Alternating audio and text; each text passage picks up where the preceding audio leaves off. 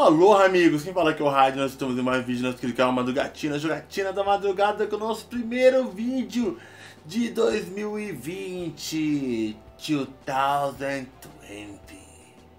Isso aí, estamos de volta com o nosso canal Madrugatina. Eu não tive vídeo especial de Natal porque eu sou ateu e eu não comemoro o nascimento de Jesus. Desculpa, tá? Não comemoro essa data. Aliás, eu acho um saco dezembro, um inferno, tá ligado? E, e, eu não comemorei nada, não fiz vídeo especial porque não, quis, e é isso aí. E tô aqui de volta, cara, madrugatina. Mais um ano, primeiro vídeo de 2020. Tá uma confusão, ninguém sabe se é um novo, se é uma nova década ou não é. Eu acho legal que, for, que seja uma nova década. Eu tô começando agora, pra mim é uma nova década. Então 2020 é uma nova década. Tô aí, década nova. Se não for, tô errado, foda-se. Eu, não, eu não sou responsável por essa informação, entendeu? Então se, tiver, se você é da turma de 2020, coloca aí hashtag 2020, dá uma deck, se não tiver, foda-se também. Não faz diferença na minha vida, porque isso não paga meus boletos. E gente, eu tô com esse vídeo de 2020 agora, um vídeo novo, pra essa nova cara do Madruga. Não vai ter nova cara. Eu falei nova cara de Madruga. Não vai ter nova cara. Vai ter a mesma merda de sempre. Eu vou jogar videogame, gravar e postar pra vocês.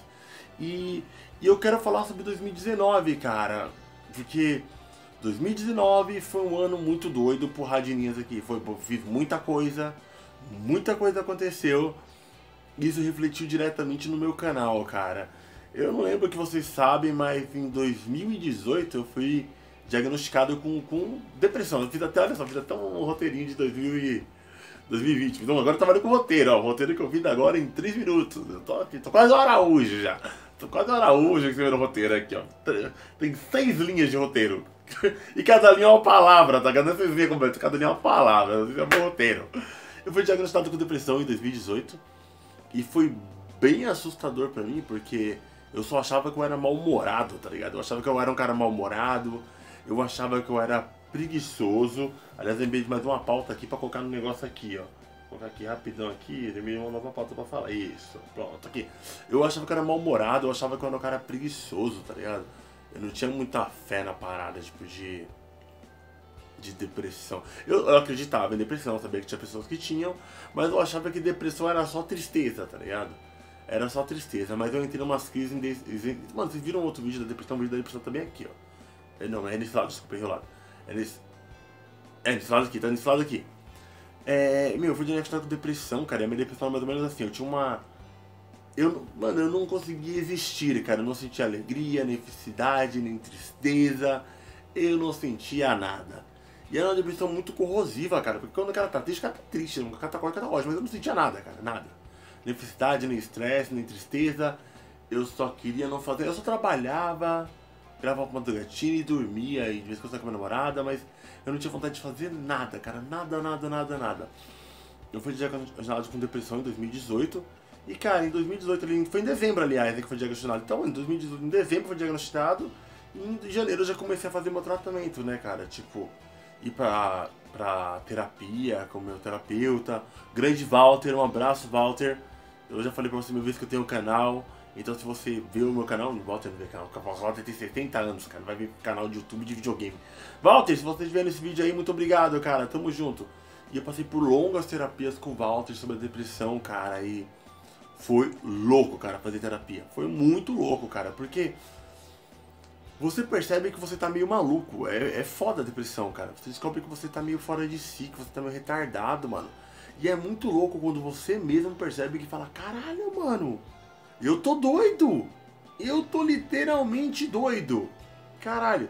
Eu sei que aqui fala doido, que você tá maluco, mas é, é a pessoa minha, eu posso tratar do jeito que eu quiser. Não tem que tratar com, com, com pisando em que é a pessoa minha, eu falo, né? Eu tô maluco, cara. E a minha depressão consistia no que, cara? Eu não queria fazer nada.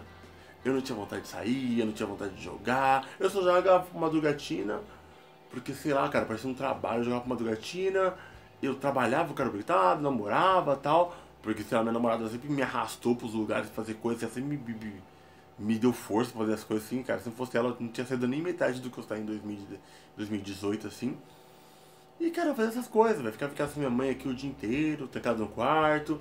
Ninguém percebe isso em você, né, mano? Porque eu sou um cara zoeiro, entendeu? Sou um cara brincalhão, faço piada pra caralho. E as pessoas não percebiam que eu tinha depressão, porque, mano, eu sou zoeiro, entendeu? Mas na minha cabeça tava assim, ó. Tá ligado no anime, quando o cara tá estressado, tá pensando muito que aquela novelinha preta, assim, ó, tch, um monte de pensamento era eu, cara. Só estresse, estresse. Chegou que eu não aguentei, pedi ajuda pra minha namorada. E minha namorada agendou um, um terapeuta pra mim, cara. Eu comecei a ir frequentar, foi louco. Foram seis anos, seis anos é foda. Foram seis meses indo pra terapia. E foi bem denso, cara, bem denso mesmo, tá ligado? Fui pra terapia, fui lá, fiquei na terapia, me tratando, e eu descobri três coisas sobre mim, cara. Primeiro que a minha. A, tem uma grande chance da minha depressão ela não ser por trauma, tá ligado? Ela ser hereditária, porque a minha mãe tem depressão e o meu avô se matou, tá ligado? Ele se matou, ele passou uma crise de estresse e ele acabou se matando. Meu avô se suicidou, cara. Então, o meu terapeuta falou que tem uma chance de eu ter herdado esse bagulho da depressão de família. Só que ela nunca tinha atacado. E em 2012, 13, eu sofri um trauma tão grande de estresse que ela, puf, ativou, ligou a chave da depressão, tá ligado? E ela começou a me atacar. Ansiedade, depressão, ansiedade, depressão, ansiedade, depressão, junto com o trabalho também, estudo.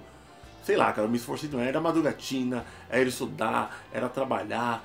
Não dormia por causa do madrugatina, editando dormia muito pouco. Eu dormia, mano, eu fiquei, sei lá, 4 anos dormindo cerca de 4 horas por noite causa de madrugatina. O que não fez bem pra mim. É, eu também vou indicar pra vocês um podcast do Jovem Nerd sobre sono, cara.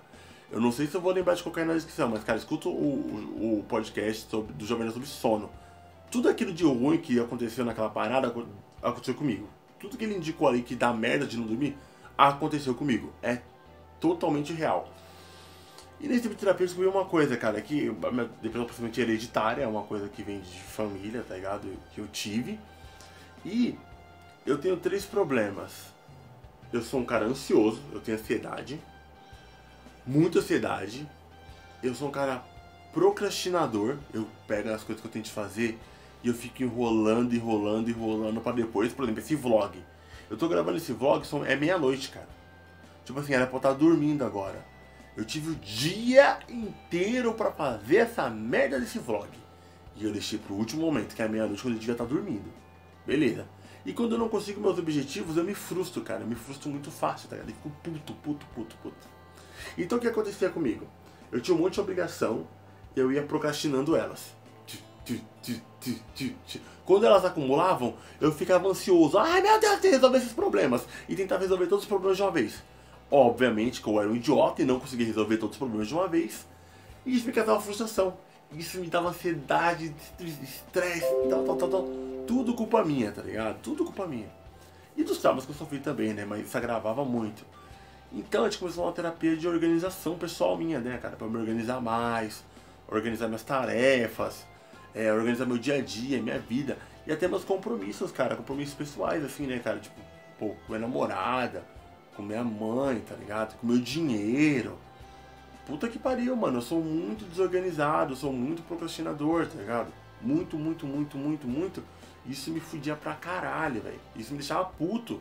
Porque o fato de eu ser procrastinador, deixar pra depois e resolver tudo de uma vez, eu consegui. Eu, mano, eu só fazia merda, cara. Só fazia merda. Então isso me fudeu pra caralho. Então é por isso que eu cheguei e fui fazer a minha terapia, mano. Terapia, fiz de boa. Ele me ajudou na organização.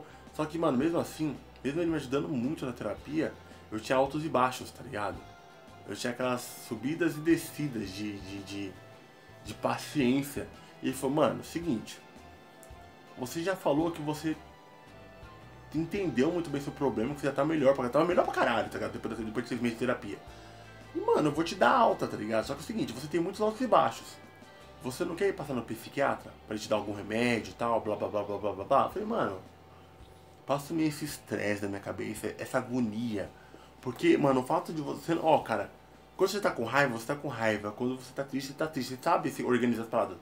E eu não sentia nada, mano. E não sentir nada, tipo um robô, me dava agonia, cara. Agonia desgraçada, velho. Porque, mano, o que que eu quero? Eu não sei o que eu quero. Eu só sei que eu quero uma coisa que eu não tenho e eu não sei o que, que é, e eu, e eu ficava louco. E eu fui pra terapia, cara. E eu fui pra terapia e eu passei com outro doutor, com vários doutores, tá ligado? De lá, os doutores são rotativos pra caralho, nem lembro dos caras, porque de, de dois meses troca essa bosta. E um cara me deu, mano, um antidepressivo, tá ligado? Tipo, 75mg de antidepressivo. E ele falou assim, Leandro, toma essa merda aqui que em 15 dias vai fazer efeito.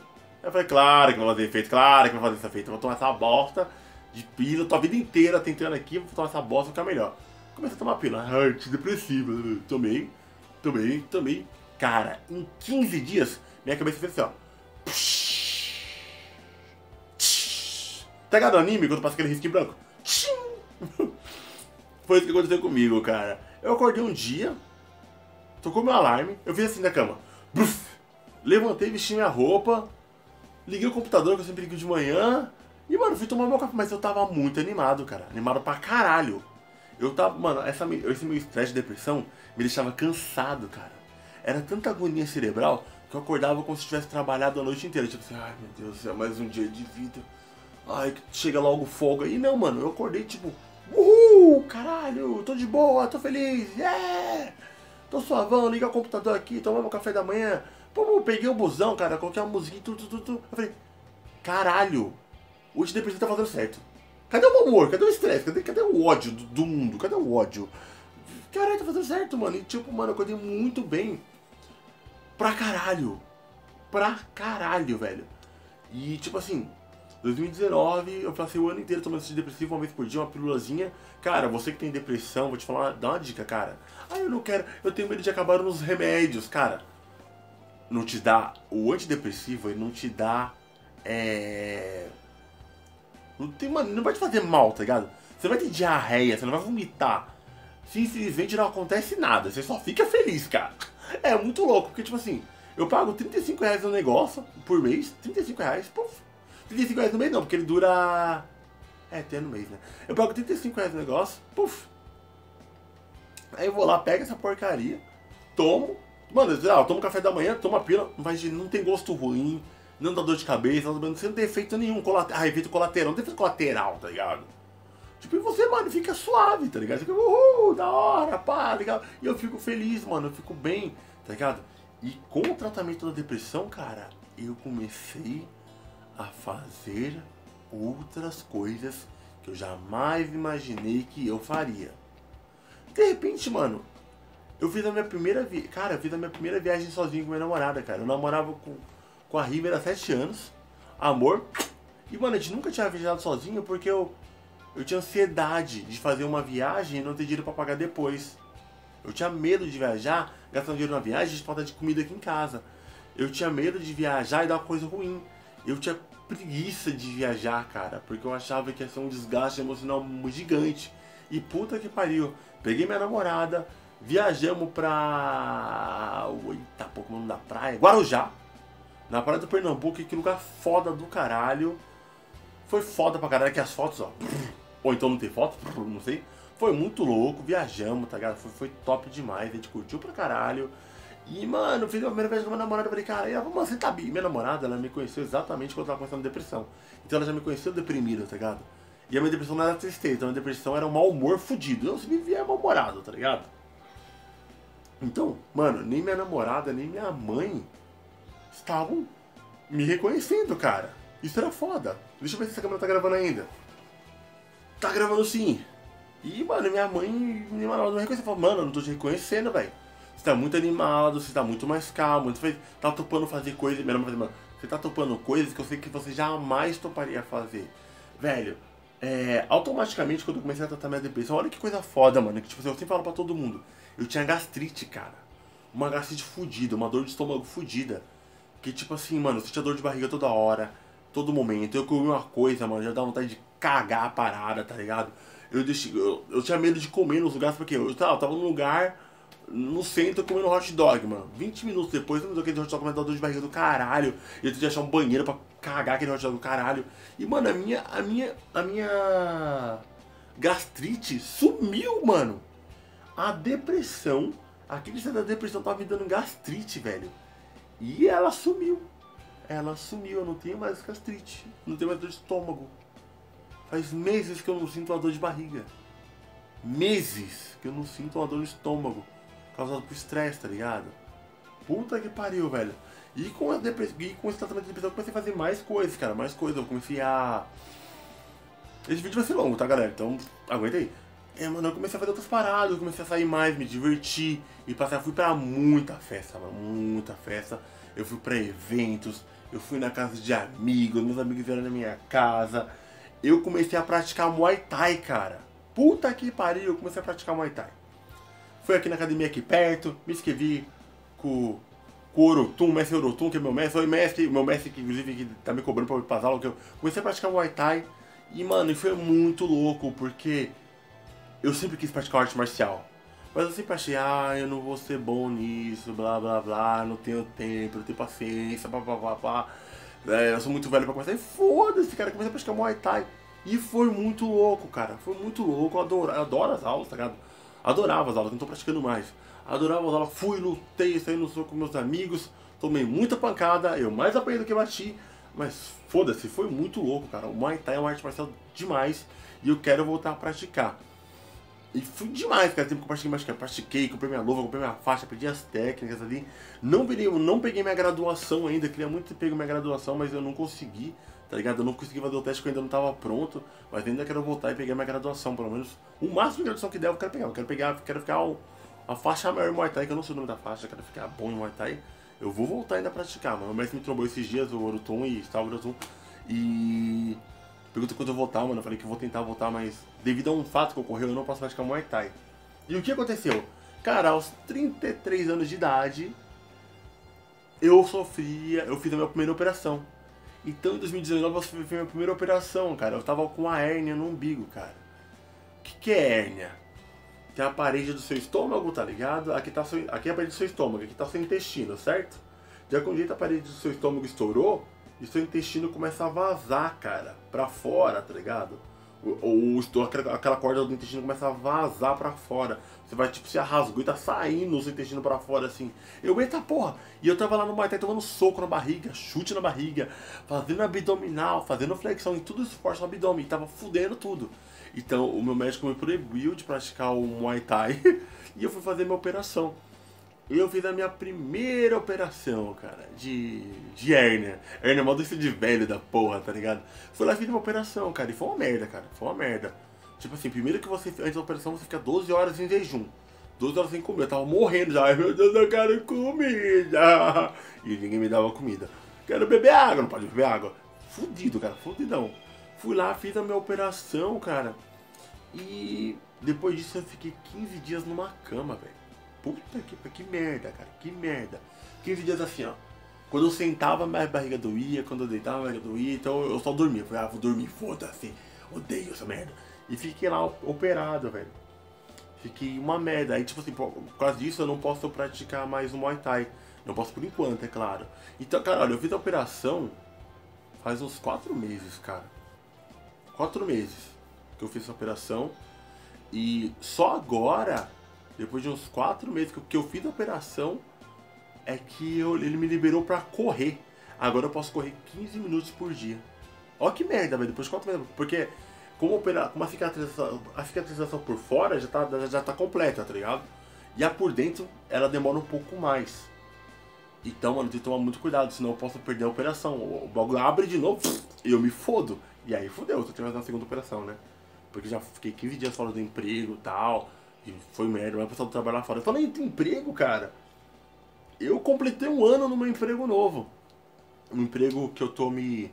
Um emprego que eu queria muito há muitos anos, tá ligado? Esse emprego realmente é um emprego que eu queria muito.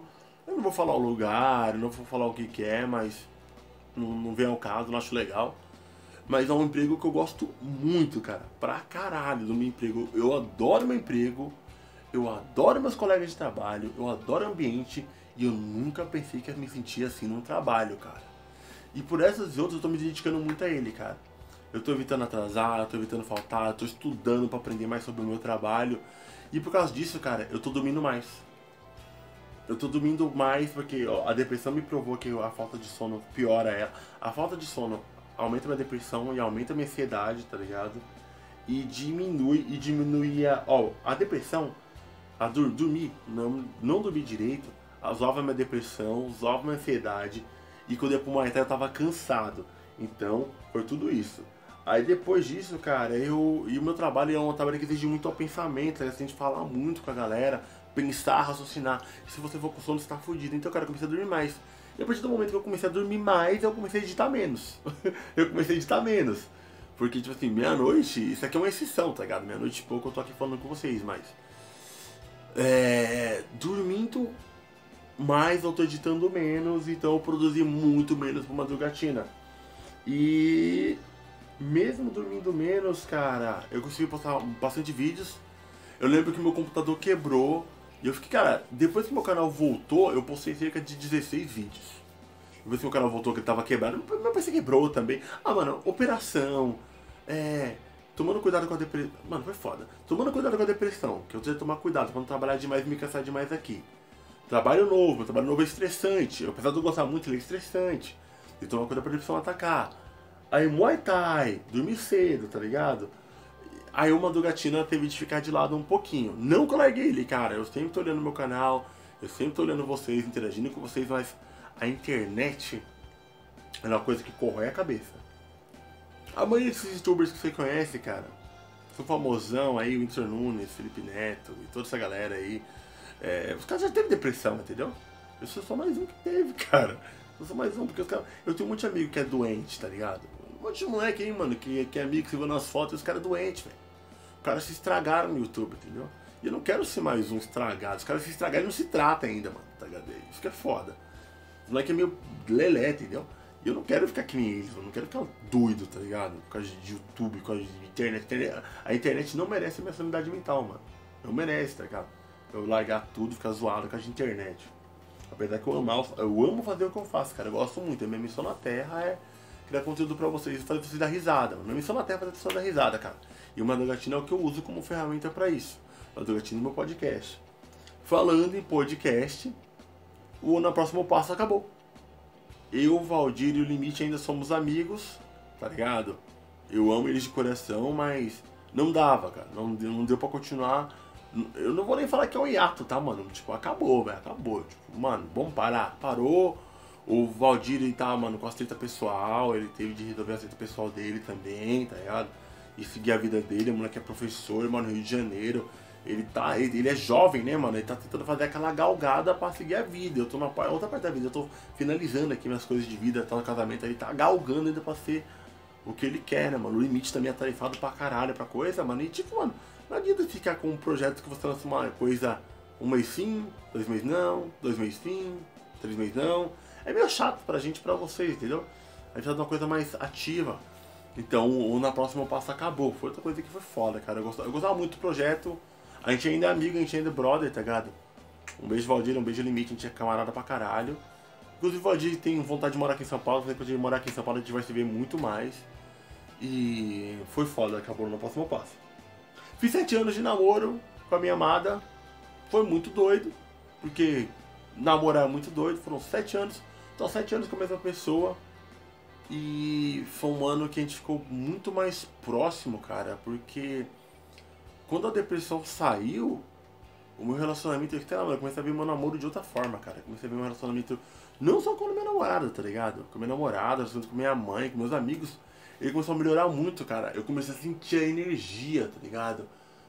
Das pessoas que me amam, tá ligado? Senti o, a minha mãe, senti a minha namorada, senti meus amigos e sentir aquela coisa gostosa de gente que gosta de você por perto. Eu tinha uma barreira, cara, que não deixava aquilo chegar. Então eu fiz 7 anos de namoro, 33 anos de vida, e meus amigos me visitaram pra caralho. E eu fiz muitos amigos, inclusive ontem mesmo, ontem, cara, quando, na data posterior, na data anterior, desculpa, ela tá gravando esse vídeo, eu dei um churrasco na minha casa, mano. Eu dei um churrasco na minha casa. Eu não faço isso desde que eu tenho 18 anos, cara. Quando eu era adolescente, tá ligado? E eu tenho 33, tá ligado? Tem noção? 18 anos pra 33. Uma depressão, cara. Deu um churrasco aqui em casa. Eu não sei fazer churrasco. Eu sei, eu sei olhar a carne no fogo. Ah, tá pronta, tá pronta. Eu não sei fazer porra. Eu aprendi ontem, pra falar a verdade, né, mano? Sabe os bagulho? Aprendi tudo ontem. Chamei todas minhas amigas pra cá, tá ligado? Minha namorada, amigos, amigas. Galera, a gente deu um show, uma galera, uma galera que é amiga minha do trabalho, que é muito se ver, tá ligado? E marcamos aqui. Foi foda, cara. Me diverti pra caralho, tá ligado? Pra caralho, pessoal do, dos amigos aqui, mano. Foi louco. Isso também, mano, porque a depressão foi embora. Fuck you, depression. Não sei se em inglês depressão é depression. Deve ser. Deve ser essa palavra. And... Cara, também Madrugatina fez 7 anos, cara. Parabéns, Madrugatina! É... 7 anos de Madrugatina, cara. E foi louco, cara. E... Depois de 7 anos de Madrugatina, cara. 7 anos criando conteúdo pra internet. Tenho mais de mil vídeos ar, 1200 alguma coisa vídeos no ar. Vídeo pra caralho, mano. Tem muito youtuber gigantesco que não tem isso de vídeo no ar. Eu tenho, mano. Mó orgulho, tá ligado? Um cara, produtor independente, produzir tantos vídeos assim. Sete anos de madrugatina, mano. Graças a vocês estamos aí, ó. Soquinho na tela aí, é nóis, tamo junto, amo vocês e vamos continuar fazendo vídeo, né, cara? O podcast parou, mas os vídeos ainda não. E, mano, esse ano, com toda essa de começar a sair mais, se divertir mais, alguns inscritos viram falando no Twitter, mano, mano, eu queria jogar Yu-Gi-Oh! Queria jogar Yu-Gi-Oh! E uns inscritos falaram, mano, a gente joga, cara. Vocês moram em São Paulo? Eu perguntei, vocês moram em São Paulo? Moramos. E eu mais dois inscritos do canal, que agora não são, não são são meus amigos, tá ligado? Amigos pessoais. Eles têm no WhatsApp aqui. A gente dá rolê junto, a gente divide hambúrguer, a gente divide batata frita. Velho, meus brothers do peito aqui, o Murilo e o Jonathan, cara. Eles me ensinaram a jogar Yu-Gi-Oh! E agora eu quero meu deck. Cadê meu deck? Deixa eu pegar meu deck. Ai, peraí. Voltei. E agora eu tô jogando Yu-Gi-Oh, cara. Isso aqui é o meu deck de Rocket. Meu super deck maravilhoso de Yu-Gi-Oh! Minhas cartinhas do coração. Comecei a jogar esse ano. Mano, eu sempre amei o anime, tá ligado? E sempre foi meu sonho jogar, cara. Só que eu achava que era muito caro jogar. E que, mano, não ia achar ninguém pra jogar comigo. E na verdade é o contrário. Mano, montar um deck de Yu-Gi-Oh! é super barato, tá ligado? Com 40 reais você compra um deck estrutural e sai jogando já. Se você quiser montar um deck mais competitivo, é só você comprar três decks estruturais. Por exemplo, aqui, esse aqui é uns 40 reais esse deck. Aí eu comprei um, eu achei legal, comprei mais dois, que deu 150 reais. E montei um deck, cara. Não, ah, mas 150 reais é muito dinheiro. Beleza, mano, mas isso aqui. A gente paga 300 em jogo de videogame, né, cara? Ah, mas o videogame dura pra sempre. O deck também, cara. Porque, tipo assim, eu tô. Comprei esse deck e jogo com ele há meses, cara. Me divirto muito com meus Rockets aqui. Meus meninos lindos. Aqui está meu monstro As.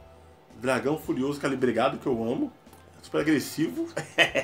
E, mano, comecei a jogar Yu-Gi-Oh, cara, com meus amigos. E é, mano, é louco que eu conheci uma galera totalmente nova, mano. Um mundo de cardinho game, um mundo de jogadores de cardinho game de São Paulo. Gente se reúne em umas lojas, tá? Que eu não vou falar os nomes, porque eles não estão me pagando. Isso é o objetivo. me paguem. E a gente vai nas lojas lá na Liberdade, vai numa loja na Santa Cruz. E começa a jogar, cara. E joga por horas, cara.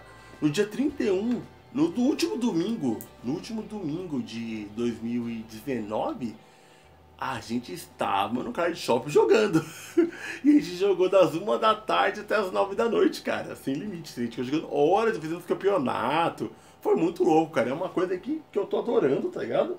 Inclusive esse meu novo gosto por card games vai começar a trazer mais decks, tá? Para vocês. Vou começar a trazer vídeos de decks, pelo menos aí com uma frequência maior para vocês, mostrando algumas estratégias, não muito, né, mano, que eu não tenho muito deck, mas eu vou tentar levar a câmera no card shop, vou mostrar meus decks, vou mostrar os decks do, dos meus amigos, Jonathan, do Murilo, se vocês quiserem, que têm bastante. O Jonathan tem deck pra cá, tem nove decks. Então já é nove vídeos pra fazer, tá ligado? o Murilo deve ter uns dois, três. Eu tenho dois decks. E algum, não, eu tenho um monte de deck, mas montar. Não, eu tenho, eu tenho cinco decks também. Tenho deck pra caralho. Mas tem um. Nem todos estão complexos como eu quero. Então vou ter que começar a jogar Yu-Gi-Oh, cara, que foi maneiro pra caralho. E, mano, foi esse meu 2019. Eu, eu zerei poucos jogos, tá ligado? Ah, em 2019 eu comecei a fazer lives. Fiz várias lives de. jogando Duel. Yu-Gi-Oh! Duel Links. Várias vezes jogando Yu-Gi-Oh! Duel Links. E inclusive eu cheguei no nível Lenda. Lenda 2 em Yu-Gi-Oh! Duel Links. Tô muito orgulhoso do meu deck de dra dragões brancos. Que fez eu chegar nesse, nesse patamar maravilhoso. E, mano, foi isso, cara. E agora eu tenho muitos projetos pra 2020 também. Eu quero montar minha casa com minha namorada, tá ligado? Eu quero me casar.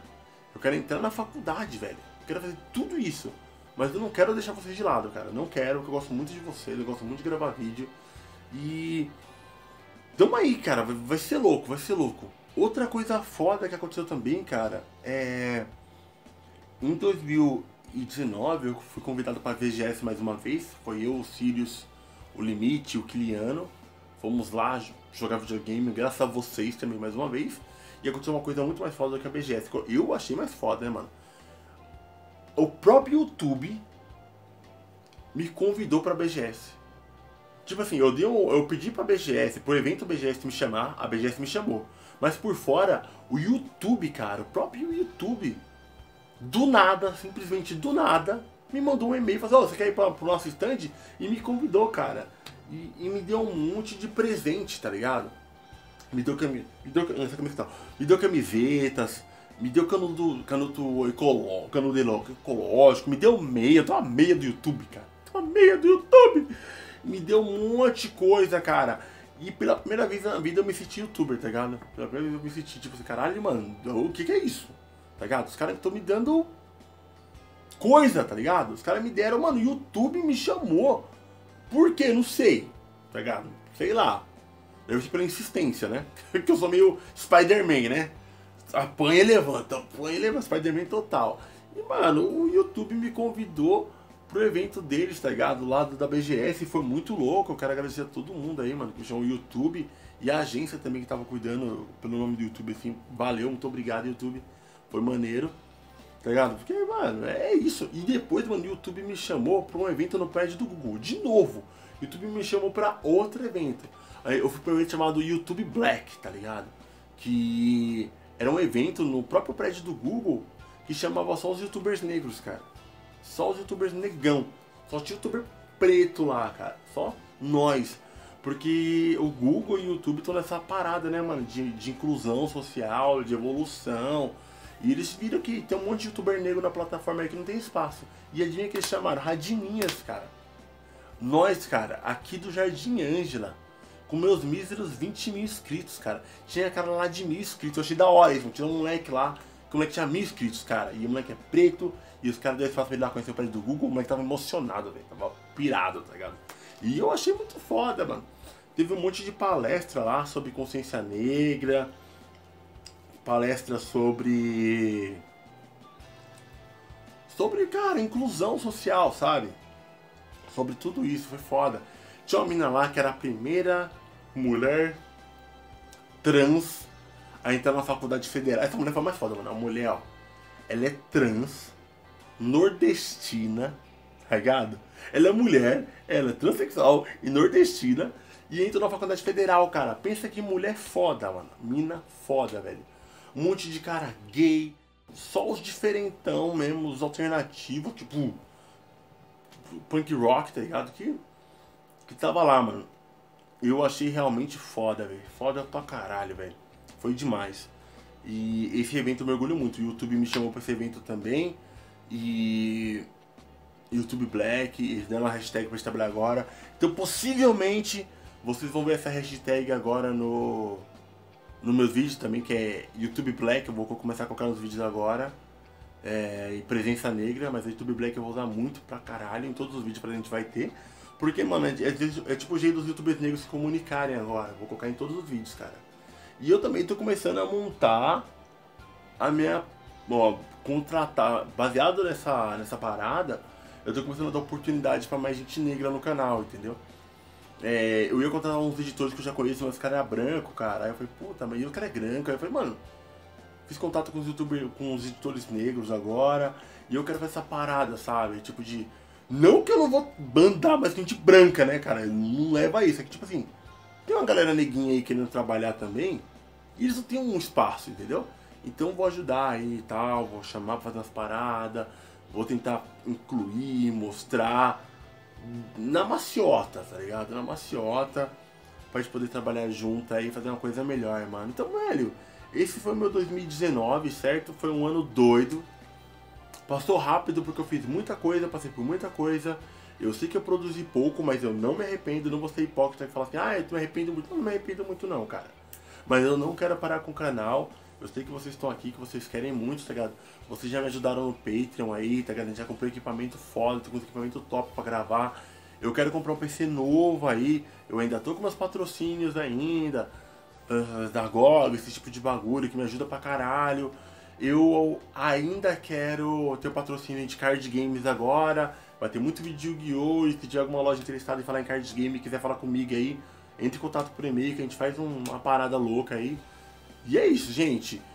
2020 é nós. Tô muito grato por ter vocês na minha vida. Quero agradecer esse ano 2019 para minha mãe, para minha namorada, que eu amo muito, para meus amigos, para toda a equipe madrugatina, que sou eu e os meus amigos, tá ligado? Eu considero sim.